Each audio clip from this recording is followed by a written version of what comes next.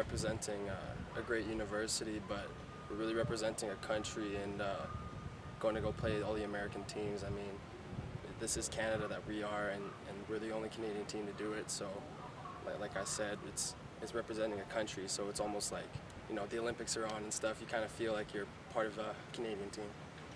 Well, my freshman season, I always joke around about it. I always dropped in my zone. Was always the hook to curl, even though it wasn't always the hook to curl.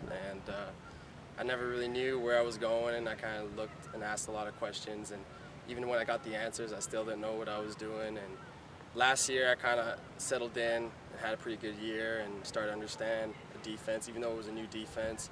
And this year having the same defense again really helps. And with our coaching, uh, getting, I believe, like a lot more uh, organized. And now, you know, we don't have any uh, gaps really. I feel in our defense like we did last year. So, I mean, second year understanding it, and I feel like I could, if you ask me anything, I could tell you the answer to it too. So.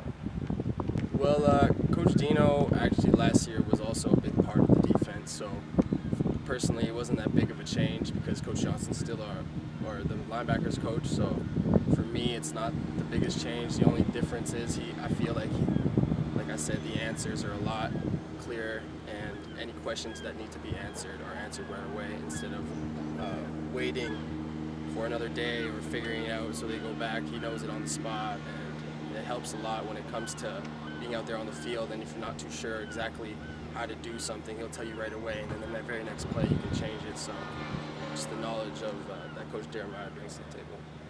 I still kind of feel young, even though I'm technically an older guy, but uh, feels good to know that people look up to you and look to you for guidance and look to you to make big plays and be the guy to stop them on the goal line or be the guy to make the interception to go back to the house. It's uh, and off the field, I mean, it's a good thing when guys come up to you, asking questions. If they, you know, maybe a little too scared to ask a coach or for whatever the reason may be, they can come to me, ask them, and it feels good to know that uh, they can look to me for help.